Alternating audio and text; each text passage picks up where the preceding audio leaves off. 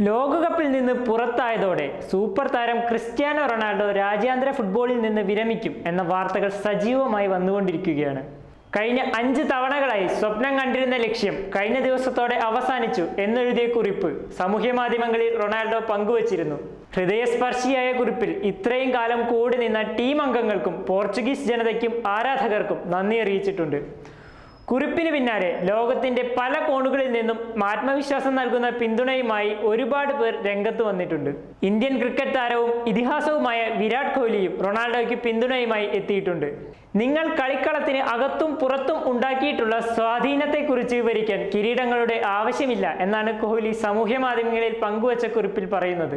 കളിക്കളത്തിലെ ഓരോ നിമിഷവും മനസ്സ് മുഴുവനായും സമർപ്പിച്ച് പോരാടുന്ന ഒരാളെ വിശേഷിപ്പിക്കാൻ കിരീടങ്ങൾക്ക് കഴിയില്ലെന്നും കഠിനാധ്വാനത്തിന്റെ പ്രതീകമാണ് താങ്കളെന്നും വിരാട് കുറിപ്പിൽ പറയുന്നുണ്ട്.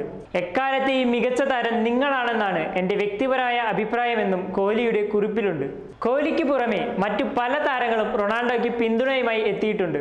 ഫുട്ബോൾ ഇതിഹാസമായ സാക്ഷാൽ പെലെയും യുവതാരം കീലിയൻ എംബാപ്പയും അടക്കമുള്ളവർ സി ആർ സെവന്റെ പോസ്റ്റിന് താഴെ കമന്റുകളിലൂടെ ഐക്യദാർഢ്യം അറിയിച്ചിട്ടുണ്ട്.